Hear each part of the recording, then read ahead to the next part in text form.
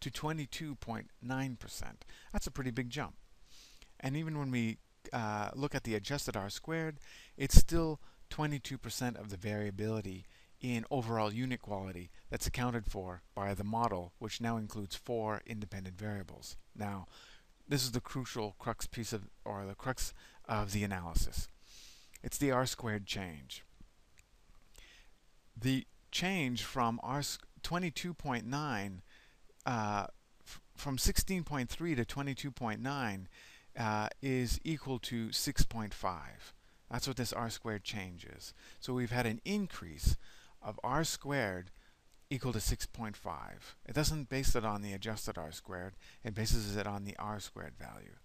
So 6.5% increase in predictive capacity going from 16.3 to 22.9.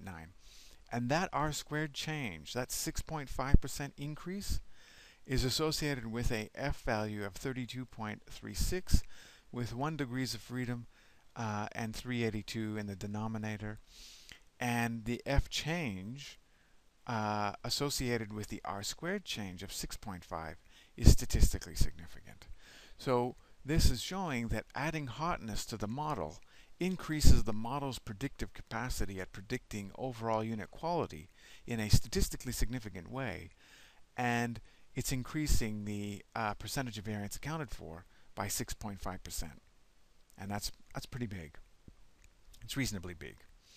And this Model 2 section of the ANOVA table is new information uh, that is testing the hypothesis that this r squared value of 22.9% is statistically significant because there's no f value here in this model summary table that tests the significance of this 22.9.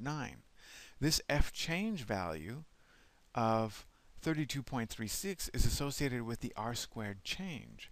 It's not associated with the overall r squared of the total model. This f value is. This f value of 22.9 corresponds to this r squared value of 22.9% of variance accounted for. And it's statistically significant, p less than 0.001. So there's three pieces of information. You, you get an r squared with the first block of predictors that you're not especially interested in. And you get an f value that's duplicated in two tables, 24.895 and 24.895. Then you get an r squared change value associated with model 2. And it's got an f change of 32.36 and it's statistically significant.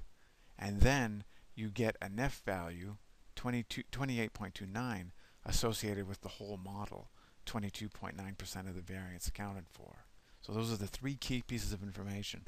Students take time to digest this information. You might have to listen to me mention it. Uh, you might have to back up and listen to me talk about this again a few times to really get uh, what is going on in these two tables. It's understandably potentially confusing, but all the information's there, uh, and I can't think of a better way to present the information. It, it's a, uh, it's just a complicated thing.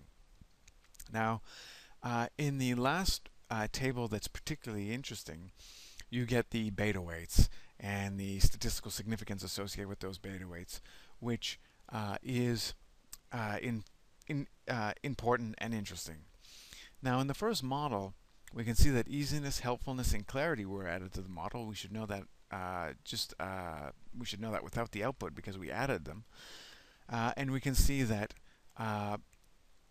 nearly all three are statistically significant. Helpfulness and clarity uh, were associated with statistically significant beta weights. And I'm looking at the standardized ones, but you can look at the unstandardized if you wanted to.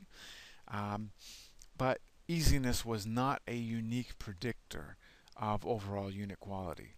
Now all this information is uh, similar to what you find in a regular multiple regression. The key difference is that you get an extra model and you would get as many as you added into the blocks. If you had three blocks, you'd get three models, but we only have two blocks.